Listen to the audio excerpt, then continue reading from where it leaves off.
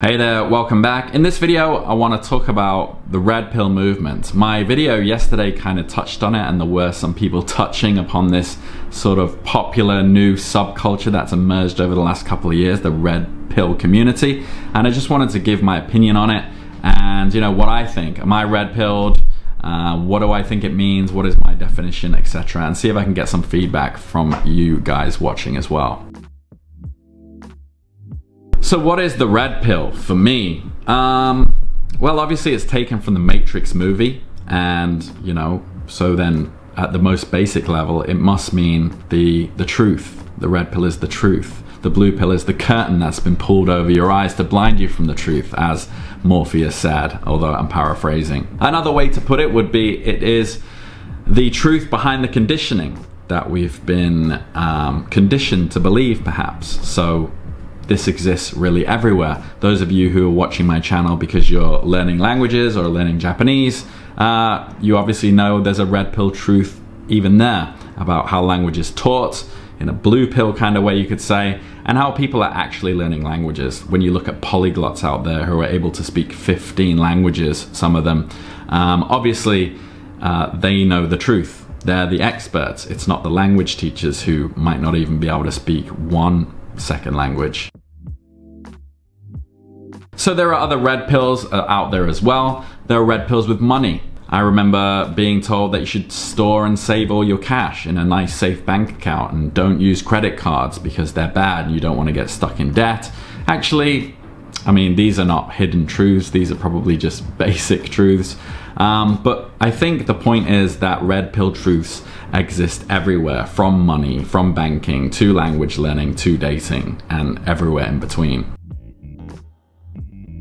So in the red pill, red pill community though, it's usually about dating. It's usually about men and women, intrapersonal, interpersonal dynamics. I think the first red pill most guys learn is that they should just be really nice and be very supplicating. And women are all princesses and you should buy them flowers and chocolate and you know do everything that they want. And uh, that's probably the first one that you kind of discover. Usually the hard way or at least you know when i was a younger guy i discovered it the hard way. When i had my first girlfriend and my first experiences and i totally cocked them up because you know i was an idiot and i guess you could say i was completely blue pilled so the red pill red pill as far as the community goes though is something that i don't really subscribe to um, I don't subscribe to channels, red pill channels, because I just don't find them necessary. I think a lot of them are bordering on mental masturbation. And I think they cater not solely to education like they will claim, but solely to creating videos uh, that give viewers the dopamine kick that they want. And the dopamine kick that a lot of them want, which I touched on yesterday, is that a lot of these guys in the West are having trouble in their dating life and they're frustrated and they're a bit angry or very angry. And what better dopamine kick than to have a bunch of pretty girls sat around a table and other guys kind of make them look dumb and then for them to watch it and be like, yeah, see, you're not that special kind of thing, which is what a lot of these uh, red pill channels are these days. For me, I think if you want to know about evolutionary psychology as it relates to interpersonal intrasexual dynamics. You can read The Evolution of Desire by Dr. David Buss. That's probably all you need to get some understanding. And I think The Red Queen is another one, which is a more simplified version. It's also another very interesting book. Uh, and you can understand the different mating strategies of men and women and see how they conflict and see why they exist and get a deeper understanding uh, about both sexes. Um, I've read both of those books and everything else, all the channels and podcasts about this kind of thing, you know, pale in comparison to what is written by the experts in those books. In fact, I believe a lot of those red pill guys do often cite those books as well and are uh, parroting what's written uh, by those evolutionary biologists.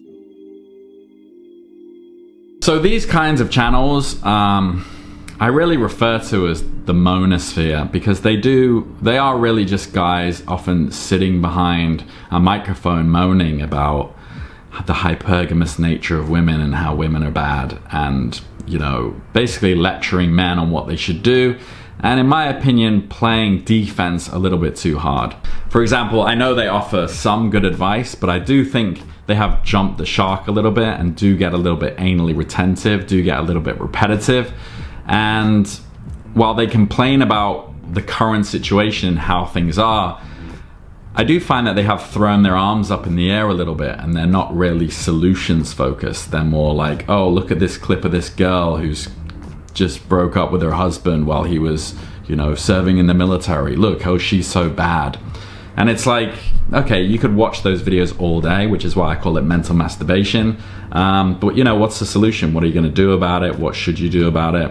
Um, you know, that's that would be more educational. But you got to understand that if you are prone to watching these podcasts and watching these videos, you've got to look at it as somewhat mental masturbation. These guys are making a living from putting out the kinds of videos that they're putting out.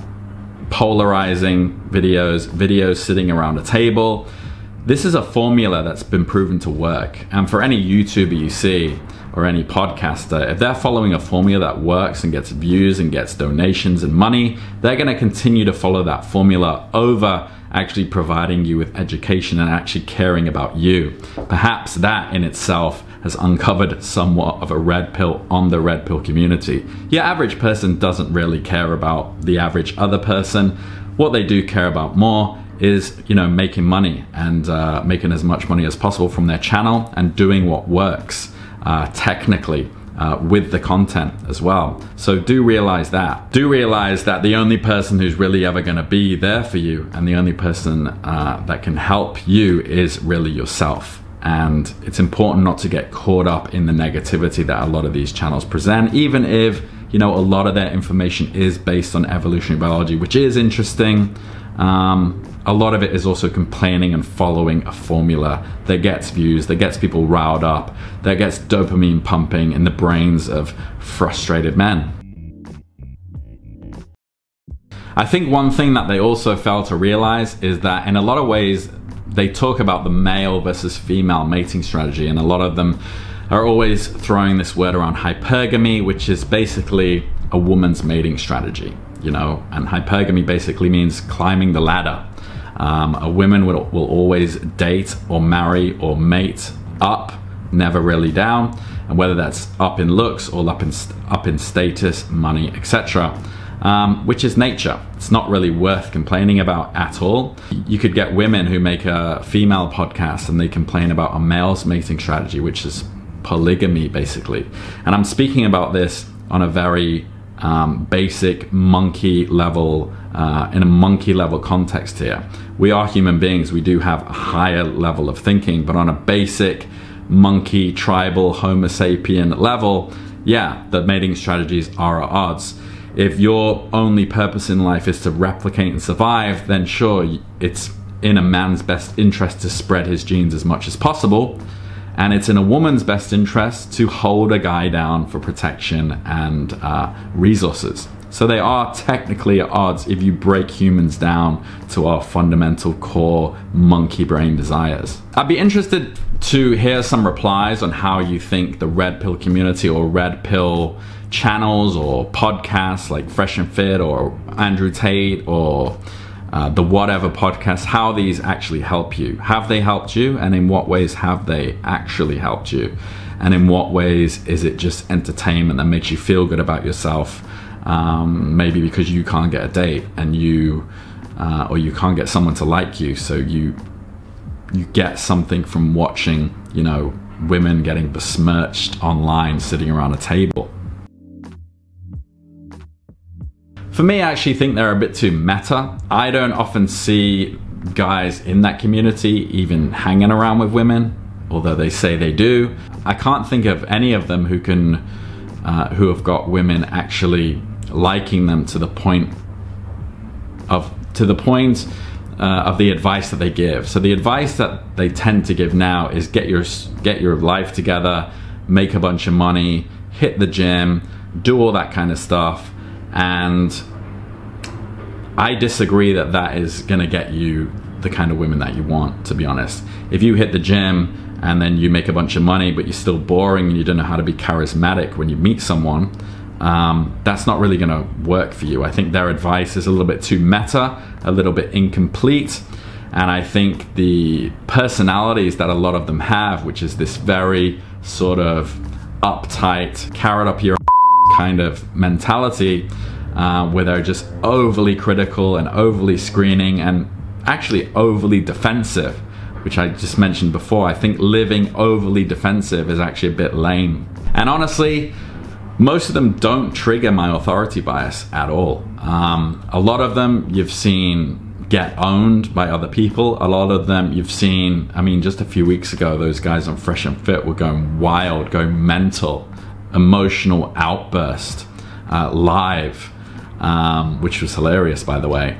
And then, you know, you're expected to look at them as some kind of like, you know, pinnacle of masculinity. And it's like, well, already I don't. But also, yeah, they've never triggered that authority bias in me. They have a podcast and they have, you know, they're following that formula, as I mentioned before in the video.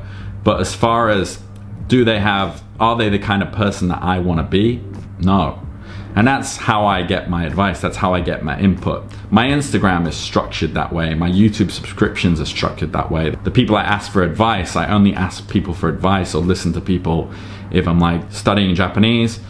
Is that guy good after 18 months? Good, that's what I want, so I'll listen to everything he says. With the gym, does this guy look how I want to look? Yes. Money, does this guy have a bunch of money? Did he make it in the way that I'm making it? Okay, I'll listen to him. And that's, for me, it's really simple. Looking at Red Pill podcasts, you know, I don't really look at anyone that I, I want to be like. The advice is watered down advice from those books I mentioned earlier when they are talking about the biological side.